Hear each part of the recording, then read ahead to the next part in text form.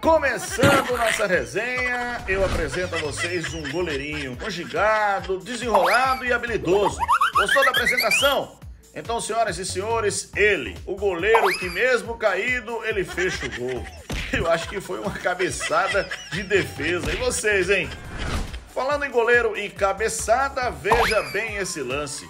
O goleirão pega a bola e quando ele vai recomeçar o jogo, com aquela lançadinha puro talento e habilidade, ele marca um gol.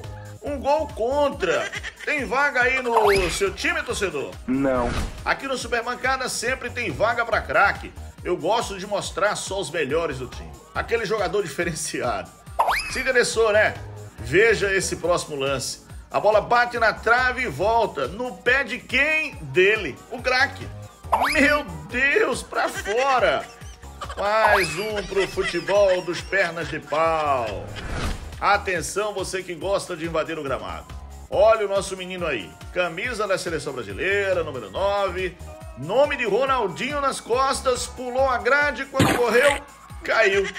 E para melhorar, olha o cabelinho dele, hein? Estilo Ronaldinho 2002. Só faltou talento, hein?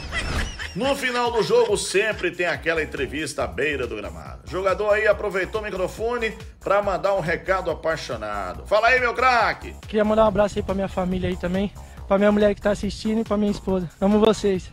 Pera, pera, o cara tem duas mulheres e se entregou ao vivo. O garotão aí vai dormir no sofá, com certeza, hein?